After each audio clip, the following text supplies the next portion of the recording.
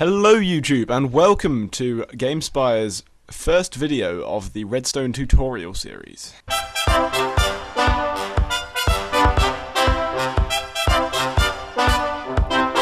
The reason why I'm doing this, this particular series, is because I, I feel like when people play Minecraft, they, they don't really play um, the, the redstone side of it enough. They don't really mess around with redstone quite an, as much as they could potentially do. So I'm going to do a couple of guides and so yeah, this is a combination lock. First of all what you'll need is this, uh, this setup.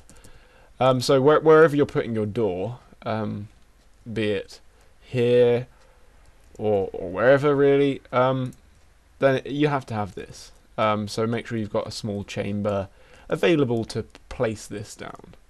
And you need levers. You need a, a lever on every single one. Um, I'll find out why in a second. There we are. Now, set your combination first. Before you lay out the redstone, it's important that you set the combination. So let's have two, three, and five. Uh, that that will do. Now, place a redstone torch on every single lever that you have just like pulled down.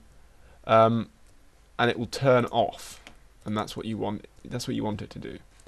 Um, because that's going to come into play a little later. Now connect everything up to this this little thing here. Good good. Now you're going to make a redstone trail away from this particular gate where the torch will be on and we're going to make uh, another gate right here. So for this gate, you need this. You need one here, one there, and one there. And you need to attach this. I don't know why I just did that. I'm going to get rid of that. You need to attach this to here. That one. Now, you need to attach this. That's something I didn't do earlier on. One thing you need to finish the job is your button, which is going to activate combination that you've put there and open the door. The uh, sorry, the door needs to be attached to this one here, and the combination lock needs to be attached. The um, button needs to be attached to there. Once you've done that,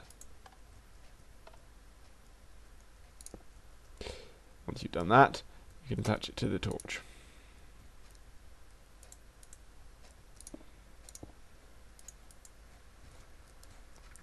There. Like so.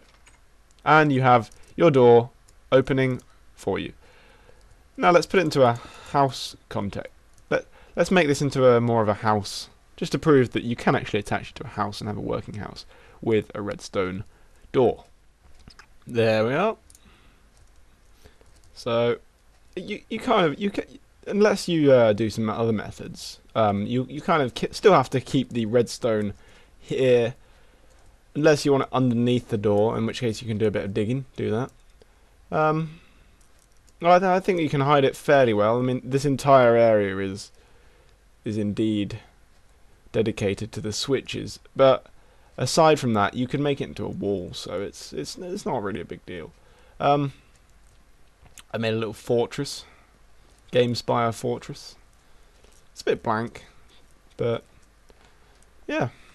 So here is real time if you put this door to use with the combination lock.